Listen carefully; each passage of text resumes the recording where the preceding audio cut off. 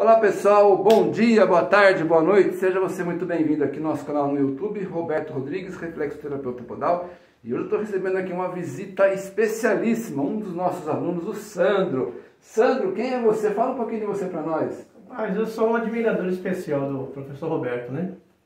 A gente conheceu pelo YouTube, fiquei muito feliz em conhecer, me tornei aluno Hoje eu posso dizer também que sou um reflexologista. Uau, que Atuo legal. Um pouco já na área, né? Uhum. A minha formação profissional é enfermagem também. Enfermagem, bacana. e a gente está associando os dois, os dois projetos de trabalho. Que legal.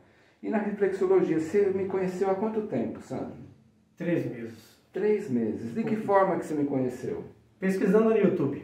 No YouTube. Olhei no YouTube, achei sua aula interessante, parei para observar, Uhum. gostei e não saí mais. É, que legal. E de lá para cá você, você adquiriu o curso, veio hoje aqui pegar o presente dele, ele veio buscar o mapa dele, né? É, veio pegar em mãos, né? É um prazer Opa, demais. O mapa, mapa dele. Então o Sandro veio receber aqui o presente, né? Que você comprou o curso e tal. E ganhou o mapa e o apalpador. Muito feliz. É, então tá aqui o, no envelope, né? Deixou, eu deixei até aberto o mapa que o Sandro está ganhando esse aqui. É o mesmo que está aqui na parede, né? É um, é um igual. E também ele está levando também o apalpador. Para facilitar e ajudar na ponta Facilitar- dedos, né? Isso, facilitar o trabalho. Então é isso. Muito bonito.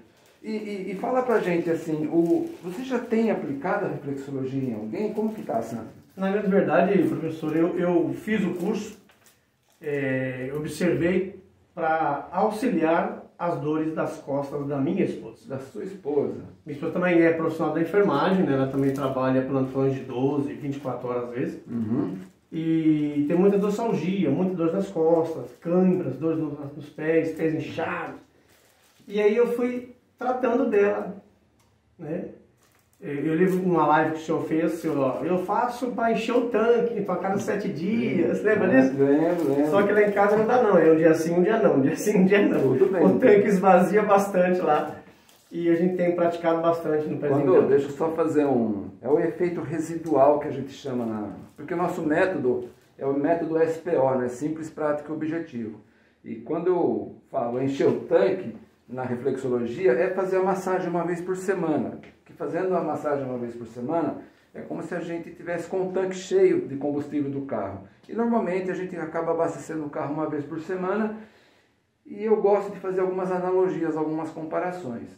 Mas é bem interessante você falar isso, porque se eu pegar o carro agora, abastecer e pegar a estrada, Andar 500 quilômetros vai ligar. vou ter que abastecer o carro hoje ainda, É talvez. mesmo, é isso né? mesmo. Mas na reflexologia, quando é um caso bem assim, que, que o cliente está numa necessidade muito grande, não há problema de fazer a massagem dia sim, dia não.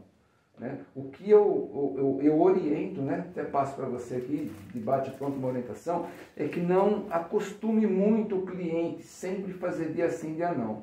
Então, quando abastece vezes seguidas, quando faz massagem vezes seguidas no cliente, por mais que o cliente não queira, mas ele entra num processo do cliente mimado. Já ouviu a, cliente, a aula do cliente mimado?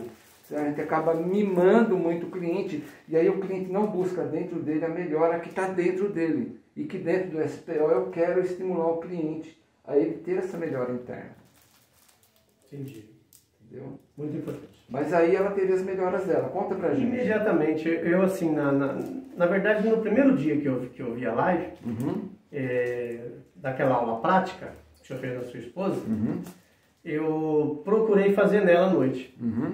Eu fiz uma surpresa para ela, sentei ela no sofá, né? Dei aquele chazinho, dei aquela conversa. Falei, deixa eu dar uma olhadinha no seu pé, deixa eu Uhum. procurar aqui alguma coisa para te aliviar. E eu peguei o pezinho dela e comecei a fazer as técnicas.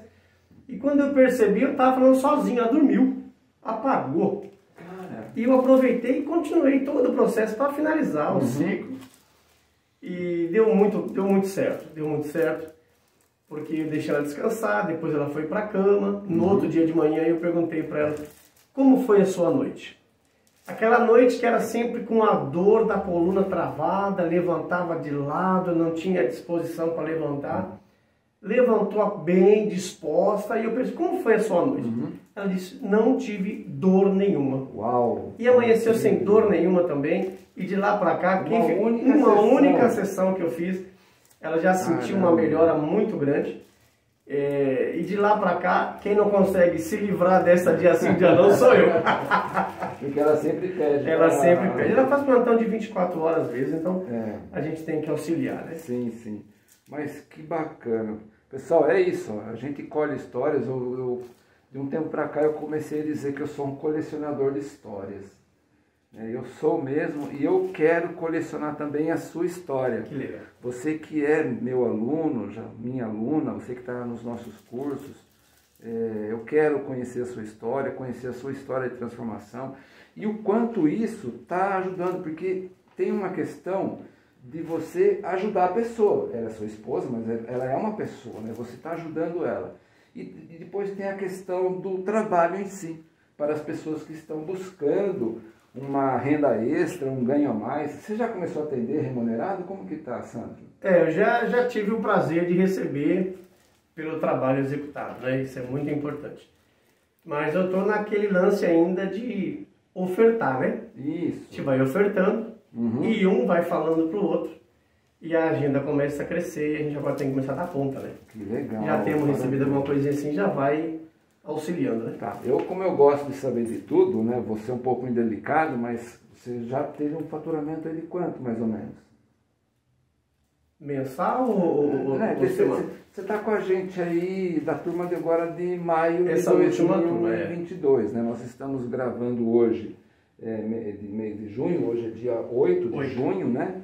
O dia da nossa gravação. Você está com a gente há um mês. Um mês e pouquinho. Um mês e pouquinho. Assim, eu, eu na verdade peguei assim de atendimento, acho que uns 8 ou 10 clientes. Ah. 8 ou 10 clientes. Uhum. Já fiz assim algumas alguns brindes, né? Sim. Nas ofertas. Sim. Dentre esses, cinco já me pagaram, né? Uau. E aí eu fiquei assim, não vou cobrar, uhum. mas o que você sente nisso? E a pessoa disse, rapaz, se eu fosse pagar isso, quanto seria? Eu falei, qual é a sua melhora? Uhum. Então, para cada cliente, a gente negocia de uma forma diferente. Legal. E aí eu fico mais tranquilo. Parabéns. Então, me diga assim, entre um cliente e outro, você está cobrando quanto a sessão? 80 reais. 80 reais. Você fez quantos clientes? Cinco clientes. 5 vezes 8, 40, 400 reais. A né? média.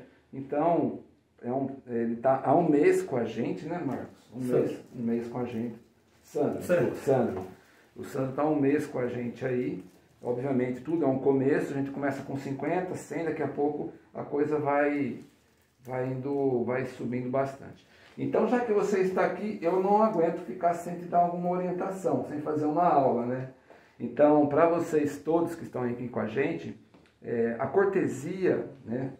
É, essa, esse brinde, essa cortesia, sempre, coloca isso sempre na agenda. Pega o calendário, uma dica para vocês também aí. Pega o calendário, calendário, aquela folhinha de calendário, vou pegar aqui para vocês, ó. É, pega o calendário, sabe a folhinha de calendário, folhinha? vai lá e na folha de calendário você anota todos os feriados que tem no ano. Tudo, tudo, tudo, tudo. Feriado, dia santo, aniversário da cidade, aqui em Sorocaba é dia 15 de agosto, 15, 15. né? Aniversário da cidade, tudo, tudo, tudo, tudo. Para você criar uma estratégia, para você se antecipar. Ah, agora vai ter dia de, dos namorados domingo, não preparei nada. Quem está organizado já tem uma estratégia. E nessa estratégia você tem mais tempo de pensar tendo tempo de pensar, a clientela vem mais fácil.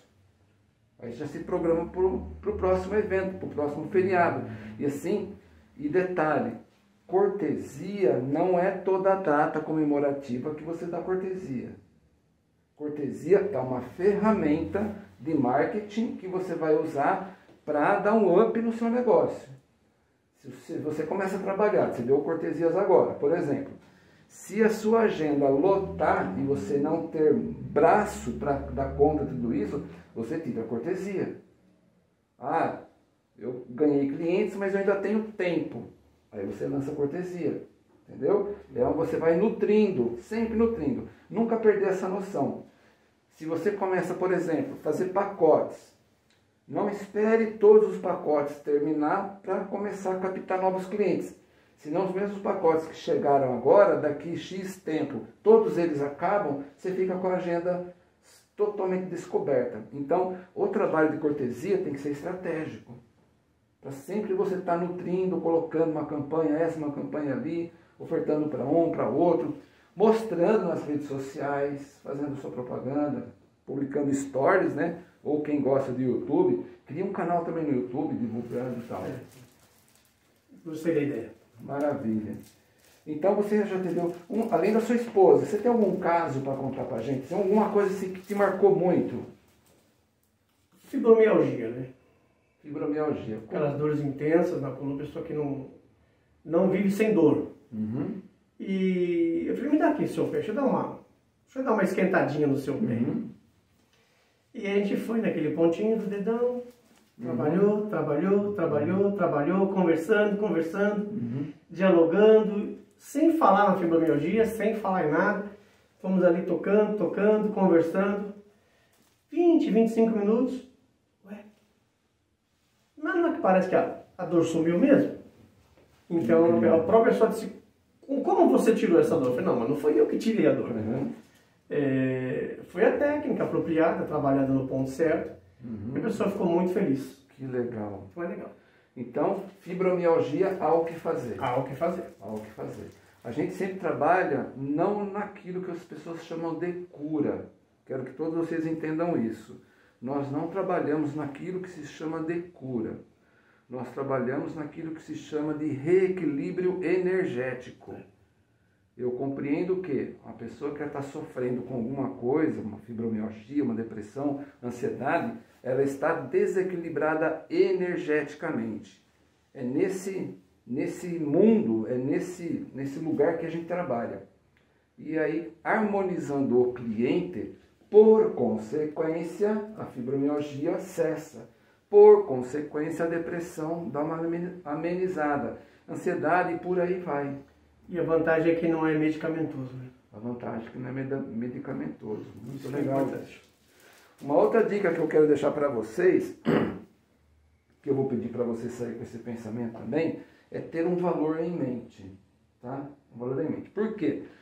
Porque as pessoas que perguntam para a gente quanto que é o serviço, a gente precisa ter um valor em mente.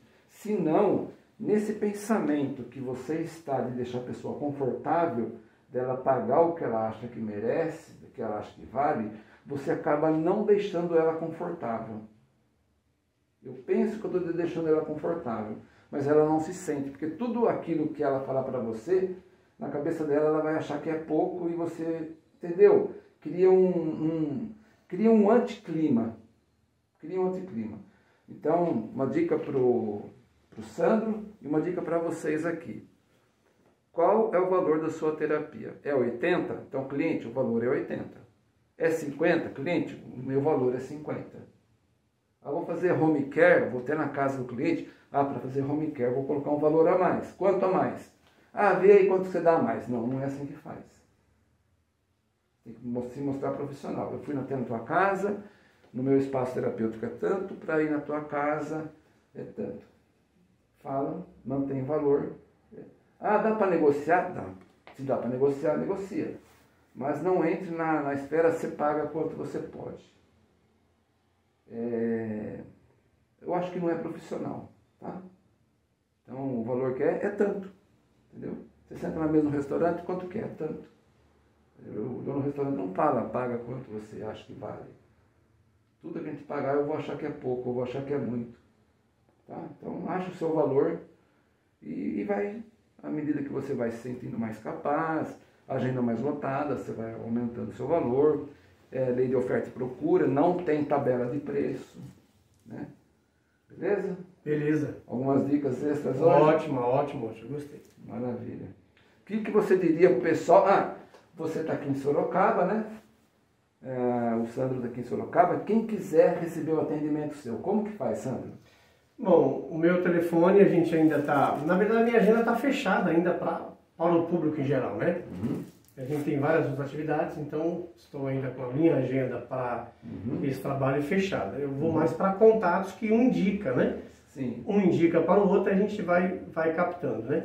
No momento eu não estou aberto para para me expor, para poder fazer uma agenda, uhum. porque eu tenho ainda outros compromissos, muitos outros compromissos, Sim. e eu prefiro ainda dar uma segurada, mas daqui a pouquinho vai estar chegando aí, vai ter bastante. Então assim que o Sandro tiver o disponível. seu WhatsApp disponível, disponível. Tal, aí comunica a gente que a gente vai estar tá aí é, avisando. Mas adorei demais a visita do Sandro, mais um aluno aqui com a gente. Está satisfeito com o curso? Prazer, o prazer é todo nosso, estou muito feliz. O que, que você poderia dizer para quem está assistindo aqui, de repente está pensando na reflexologia como uma atividade de renda extra ou uma atividade para ajudar pessoas, o que, você diria? Se encontre, né? Se encontre nesse caminho, porque como a gente acabou de conversar, muitas vezes a pessoa está perdida no caminho, não sabe para onde vai. E a reflexologia é um caminho seguro, um caminho saudável, um caminho rentável, um caminho onde a pessoa pode ter uma base de onde andar uhum. e se encontre no, no, no, caminho que é muito importante. Legal. Sandro, adorei você aqui com a gente. Pessoal, é isso aí. Se você gostou, dá aquele joinha no nosso vídeo aqui, compartilha, se inscreve no canal se você não está inscrito. Grande abraço, sucesso a todos e a gente se vê no próximo vídeo. Valeu, Prazer. até mais. Tchau, tchau. Falou.